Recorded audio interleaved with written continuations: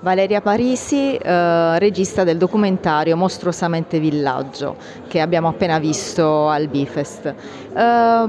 Valeria, mi può raccontare come è arrivata a Paolo Villaggio e a, eh, a voler fare questo documentario? Allora, io lavoro da 30 anni, faccio parte di un team, da, non 30, adesso esagero, da 20 anni faccio parte di un team, di una squadra che è la 3D Produzioni Video. Abbiamo prodotto già diversi documentari su anche personaggi di cinema, per esempio su Gasman, per esempio su Alberto Sordi, per esempio su Viernalisi. Questi tre che ho citato sono, fatti, sono stati fatti da Fabrizio Corallo, che è uno degli autori, non era presente purtroppo, ma uno degli autori di Mostruosamente Villaggio. Eh, Fabrizio con me ha fatto un documentario l'anno scorso, un anno e mezzo fa, che è su Ennio Flaiano, eh, Flaiano straniero in patria, che ha vinto anche il nastro d'argento, per cui si è creato un bel sodalizio e una bella amicizia.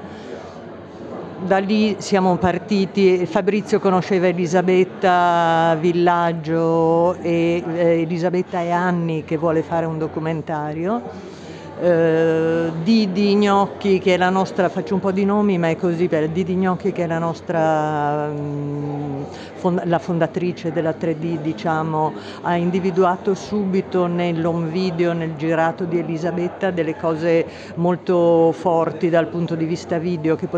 che avrebbero fatto un documentario un po' diverso dagli altri e che sarebbero servite a raccontare non soltanto la maschera, il personaggio Fantozzi ma invece la, mm, personaggio tutto tondo nella sua complessità, perché quello che volevamo era anche rendere la complessità di, di Paolo Villaggio, che era un uomo non molto simpatico a volte, eh, estremamente intelligente, eh, generoso ma inaffidabile, cioè aveva una serie di, di difetti oltre che il grande talento, la grande intelligenza e lo volevamo raccontare tutto. Una domanda soltanto sugli intervistati. Um, ho visto un, un, po' di assenze, tipo per esempio um, sarebbe stato bello sentire Renato Pozzetto. Uh, non so, come ha, ha scelto, i, cioè come si è, si è avvicinata ai vari personaggi che hanno conosciuto Paolo Villaggio e che ne potevano parlare? Sai, Paolo Villaggio del 1900, era del 1932 comunque, per cui eh, fa,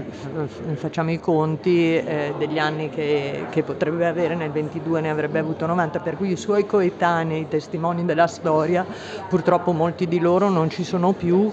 o non sono in gran forma, eh, per cui eh, riguardo agli intervistati abbiamo fatto un lavoro cercando di trovare quelli che fossero più pregni e magari in, in, in qualche caso anche che fosse forse una prima volta che si aveva il loro racconto, perché ad esempio non mi sembra di avere già avuto Adriano Panatta che raccontava, che è stato molto generoso nel racconto. Renato Pozzetto purtroppo quando gliel'abbiamo chiesto non stava bene, c'era Cocchi Ponzoni però che mi è piaciuto molto, è stato molto generoso nel racconto, ci ha detto per esempio, ci raccontava dei loro esordi nel 1968 con quelli della Domenica, eh, dove addirittura racconta, una cosa che mi piace molto è quando racconta che loro, che era una trasmissione che andava male, andava male perché era troppo controcorrente,